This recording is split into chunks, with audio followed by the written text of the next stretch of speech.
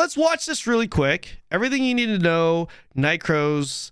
Apparently, this is a mobile MMO. If it's Unreal Engine 5, dude, I bet this looks better than most modern day PC MMOs. Let's say this game is a game that both PC and mobile can play. Uh, let's watch. Let's watch. Biggest gaming successes of 2023 is finally getting a cross platform global release on PC, Android, and iOS in early 2024. Nightcrows is a free to play MMORPG built in Unreal Engine 5 and set in 13th century Europe. Whether you take up the sword, Hmm. the bow, or sorcery, join hundreds of other players in huge scale battles both on the ground and high up in the sky. Here's everything you need to know about Nightcrows. Set in the aftermath of the Fourth Crusade of 1204, Europe's attempt to expand its influence to other continents didn't go as planned, so they've taken the fight back home. Nestled between France and Italy, the fictional principality of New Trieste was born out of Bro, look at rebellion these within the Knights man. Templar and now seeks to unify all of Europe. And by unify, we mean hit with swords, arrows, and magic.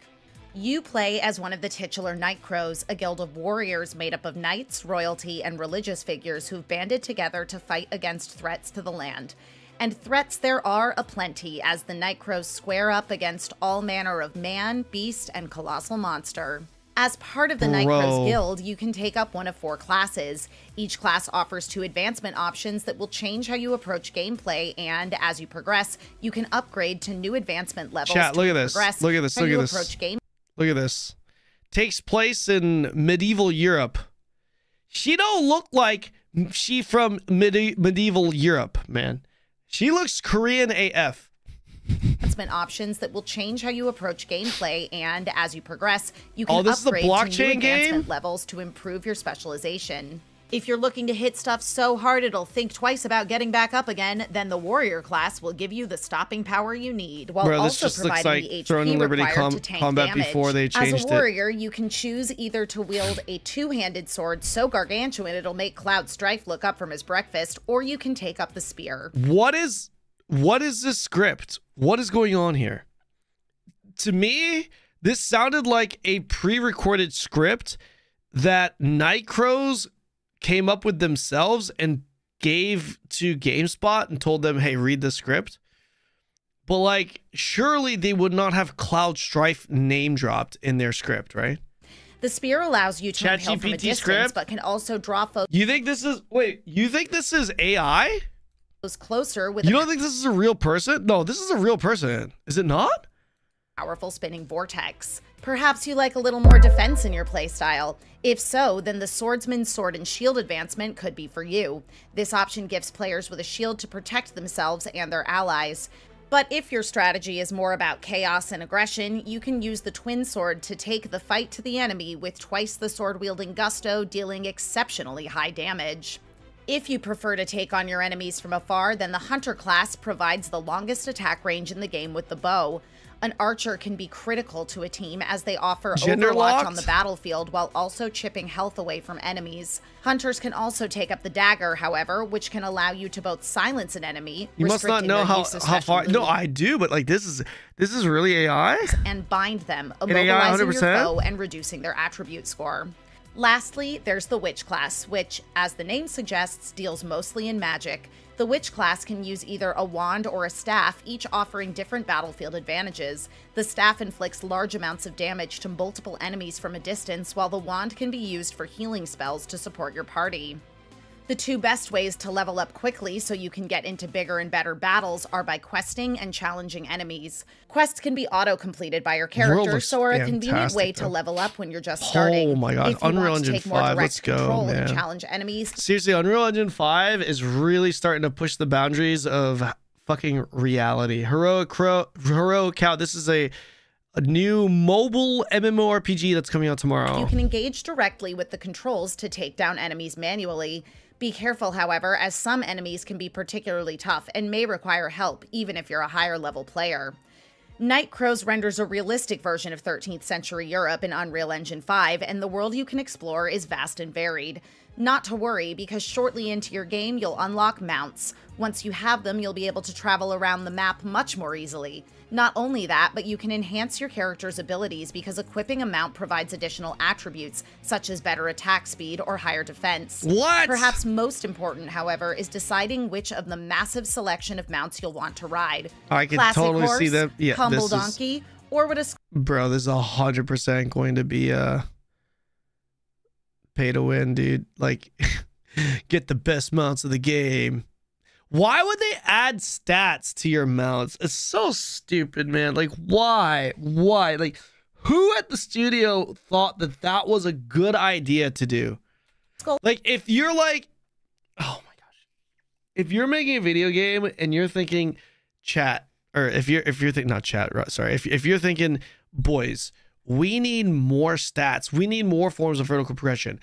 I would much rather have some kind of like fucking relic item that you just equip as an additional item that has these stats rather than applying these stats to a fucking mount, man. Like, come on. It's just, you could do it so in so many other ways. Why put it on a mount? faced bison looking thing pique your interest. But your noble steed isn't the only mode of transportation. You might have spotted the strange floating platforms suspended by air balloons scattered throughout the vast landscape. These are connected to one of the most interesting features of Nightcrows gliding. gliding. In this world, medieval history books apparently left out some of the more awesome facts, like how Europe had mastered hover and glide technology 700 years before the Wright brothers thought to add an engine. Take to the skies with your allies both for travel and for combat. These gliders aren't restricted by petty obstacles like gravity or momentum. While you're gliding, you can hover with the hover flight function, dash horizontally with flight rush, and if you spot an enemy, you can target that enemy and get a devastating hit with dive attack. Not all gliders are alike, 45 however. gig- I mean, different gliders have different features based on their design and grade. Do so they make have sure you pick too? a glider that suits your playstyle. Nightcrows is an MMORPG, so to get the best experience, you'll want to team up with a group to take on larger battles, be they enormous monsters that threaten the land or worthy challengers in PvP. When playing Nightcrows, you can expect to be on maps featuring as many as 1,000 players at a time.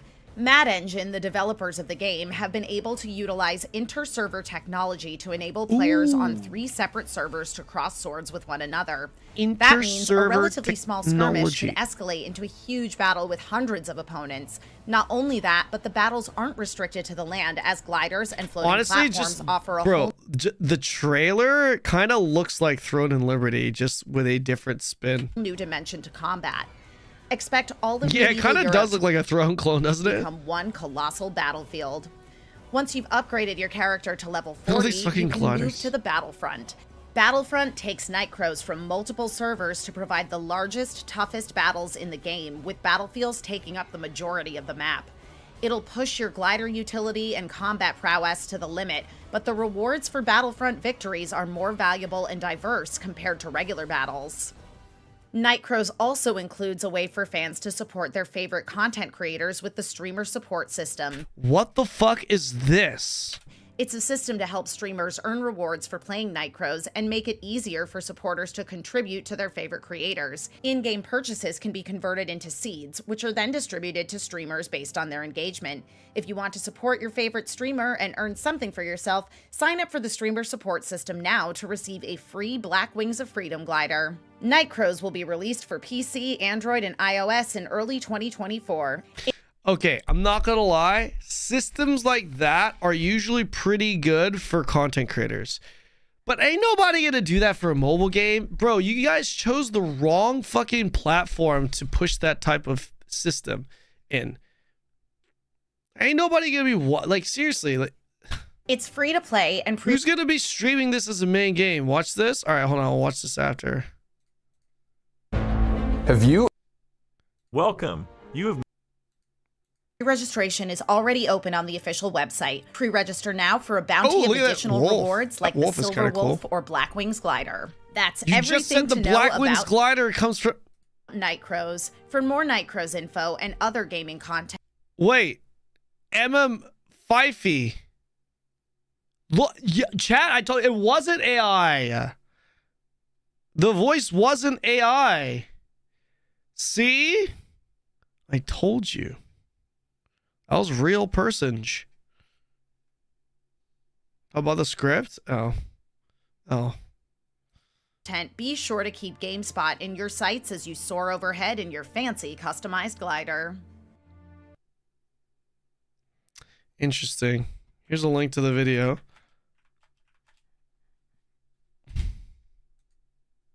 Who ever thought that all the in-game items you've obtained should belong to you? Well, in Night Crows, the effort you've put in will translate directly into your assets. The tokenomics of this game is actually quite unique. With this game, you can experience a true blockchain game that is unlike any other crypto game you've ever seen. Here are six reasons why the tokenomics of Night Crows is so exceptional. Let's get right into it. Number one, minting diamonds into tokens. This is the core of Night Crows. Let's give it. Uh, let's give them a chance. Let's let's see. Let's let's see what they have to say. Crow's tokenomics. The Crow token, C-R-O-W. The Crow token can be minted with diamonds, the key currency of Night Crows. Now, it goes without saying that diamonds are important. Well, in Night Crows, diamonds are used to trade a lot of things. Diamonds obtained directly through the exchange and request station are called value-added diamonds, or VDIA for short. What? Crow tokens can be minted with VDIA. I'm already lost. Just think about it. Minting the most important in-game currency into tokens yourselves. Pretty cool, right? Number two, connecting the in-game economy and the real-world economy. Now, what can you do with Crow? You can swap Crow to WeMix Dollar and also trade other item tokens and character NFTs. Let's take a look at swapping Crow to WeMix Dollar first. The VDIA you obtain by putting time and resources into playing the game can be turned into Crow tokens, and Crow can be turned into WeMix Dollar. And also, this whole process works mm -hmm. the other way around as well, meaning that the in-game economy and the real-world economy can be connected through the Crow tokens. Now don't forget, Crow is the key currency of Night Crows. What?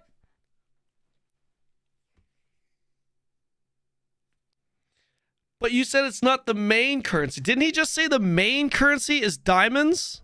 In the right? C-R-O-W. The Crow token can be minted with diamonds, the key currency of Night Crows. Now, it goes without The key currency of Night Crows is diamond. It literally said it, and he just said it here. And then. Don't forget, Crow is the key currency of Night Crows. What the fuck? Which one is it? Which one is the key currency? You can't have two key currencies. What the fuck? Imagine botching your fucking explanation. Listen, listen, guys. L listen. No, he didn't even say main. He literally said key currency twice. Bro, imagine trying to explain uh, uh, imagine trying to explain an NFT system to gamers that don't even want to listen to it to begin with. The only reason why you guys are watching because I'm kind of forcing you to. and you and you botch the delivery. Like you you don't even you don't even actually explain it right or correctly or effectively e effectively I should say. I'm fucking confused. What, what, which is the key currency? Crow or fucking diamond? I don't know. Number three, holding Ethereum? No problem. Yes. No, actually, no. I sold all I sold out of all my Ethereum positions at 4,000. WeMix dollar right now. What do I do? I'm, I'm Ethereum broked. Sure some of you just asked yourselves this question. Well, this part is just for you. Nobody asked that question. Three wallets and six chains. Support oh my god. The chains include not only WeMix 3.0, but also Ethereum, BNB, Polygon, and more. You can easily swap assets on supported chains to Crow for gameplay. There are many ways to do that, but using the Una wallet is the easiest and simplest way you can do it. Open the App Store or Play Store right now. This is chat. This is listen, listen, listen. This is this is why none of these systems will work. You know why? Because even if this is not a scam, even if it's a pretty good system, at the end of the day, when you have third party hoops, multiple hoops and layers that you got to go through, it doesn't work. bro, having one or two extra layers within your fucking video game could sometimes kill your fucking video game. That's not like we gamers, we need simple Pepega ass systems in place because I want to just click and trade and earn. That's it. It's like I make go- you want to know a great system? Here's a great system. I make gold in the game. I buy goods with gold in the game. I can sell goods and make gold in the game. Done. That's all. That's that that's literally the perfect system. Done. Currency spendable, gainable. Done. That's it. This fucking like what the fuck are we even in, man? Two minutes into this video, I feel like I've been watching a two-hour video. And look up Una Wallet. With only Una Wallet, you can use your coins to experience the true blockchain economy of Night Crows.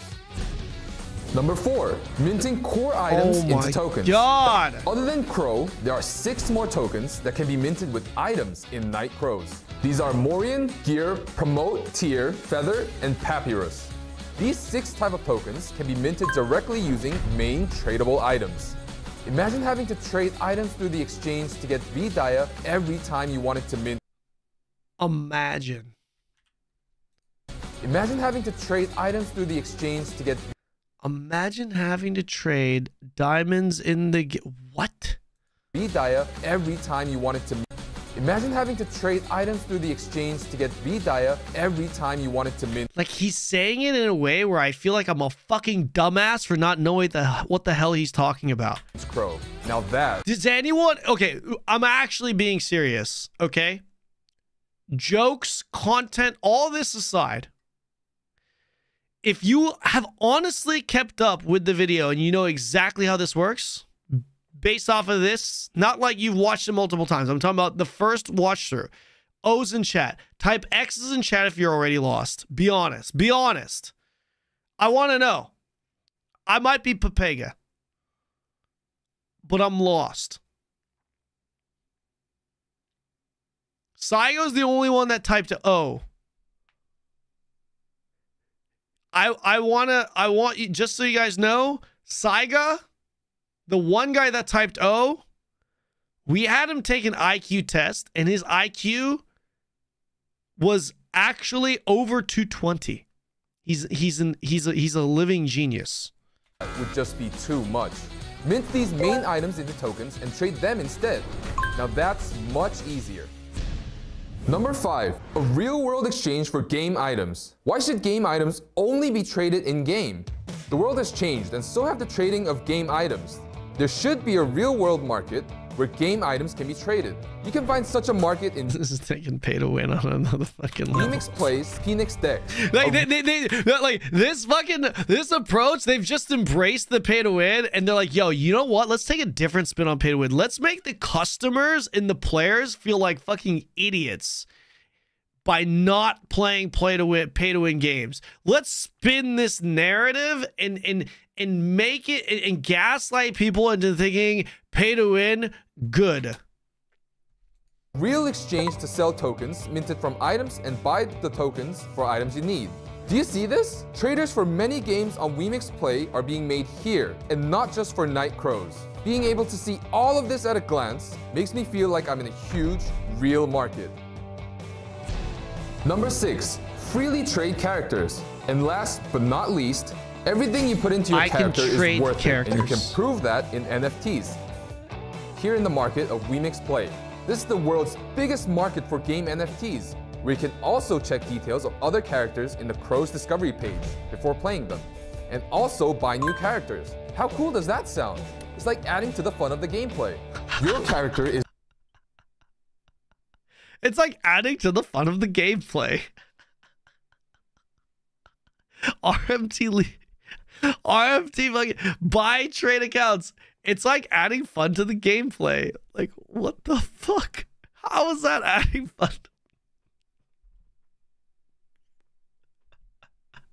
is literally your legacy.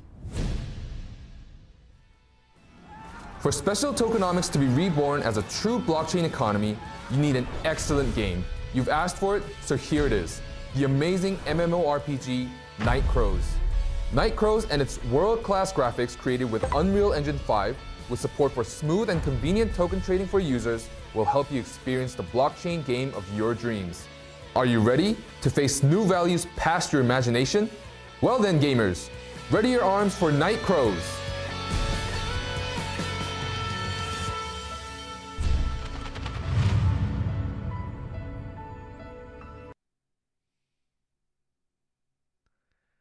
Oh man,